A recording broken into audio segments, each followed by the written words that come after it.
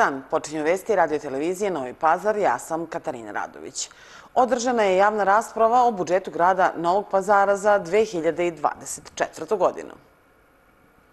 Pa, pre svega, evo, bila je na konstruktivna rasprava, upravo i cilj ovog građanskog budžeta i javne rasprave o budžetu je da dostupno bude građanima jednostavno budžet koji je sigurno za jedne stručnjake ekonomiste uprostimo i da bude jasniji, što jasniji građanima i da upravo današnja rasprava da građani pitaju, da videš da svoje predloge da daju za naredni budžet za narednu kalendarsku godinu 2024. godinu. Znamo da je budžet jedan pravni akt, jedan od najvažnijih ovaj, dokumenta kojim se planiraju prihodi i rashodi za kalendarsku 2024. godinu i znamo da je realnost da su uvek veće žele nego mogućnosti, da je uvek manje novca nego potrebe koji su za novcom. Zato je budžetom se upravo, planiranje budžeta se upravo određuju prioriteti za narednu godinu, koji su to prioriteti sa, a, koje ćemo finansirati, koji su najbitniji za građane. Budžetska sredstva su u Novom pazaru namenski trošena u skladu sa zakonom i propisima, rekao je na konferenciji za medije načine gradske uprave Džemel Divan Efendić. To je kazao je, potvrdio i izvešte državne revizorske institucije. Manje nepravilnosti na koje je ukazao revizorski izveštaj odmah su otklonjene, objašnjava Divan Efendić. On također demantuje i određena pisanja koja se odnose na rashode za zaposlene.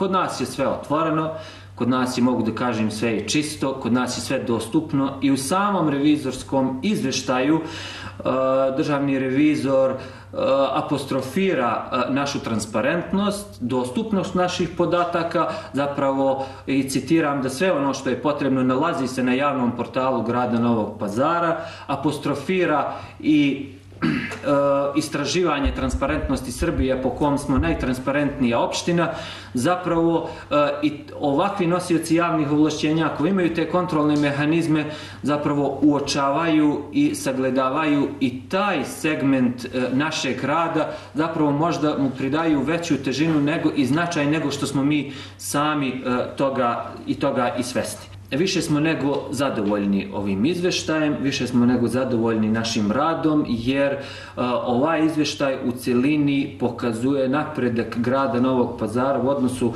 na prethodne periode kada je izvršena revizija u ovim segmentima, u pravilnosti poslovanja, u zakonitosti našeg grada, uh, e, tako da jednostavno svi dijelimo e, to zadovoljstvo, kažem, i više smo e, nego e, zadovoljni ovakvim, ovakvim rezultatom, ovakvim ishodom, što je zaista i jedna logična posljedica našeg rada i zalaganja u prethodnom periodu.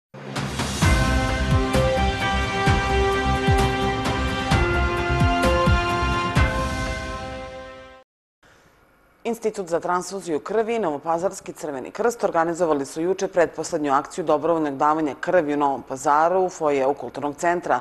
Od 52 zainteresovanih krvi je dalo njih 45. Bez obzira na broj prikupljenih jedinica krvi, 2023. godine biće lošije u odnosu na prethodnu, istakla je sekretarka Crvenog krsta Novi pazar Ljiljana Kostić. Ona je pozvala sve koji juče nisu stigli da daju krv danas, da dođu na internacionalni univerzitet gde će biti održana poslednja ovogodišnja akcija.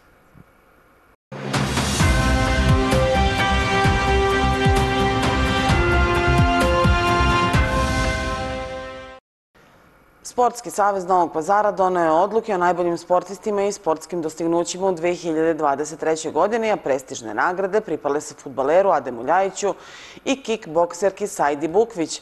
Futbaler Adem Ljajić i kickbokserka Sajda Bukvić istakli su se svojim izuzetnim sportskim rezultatima tokom godine, zaslužujući titule najboljih sportista grada Novog pazara.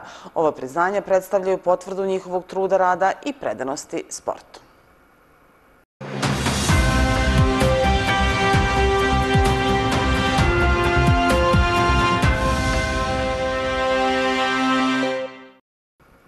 Vreme danas sunčano i toplo za ovo doba godine. Maksimalna temperatura u Novom pazaru do 14 stepeni.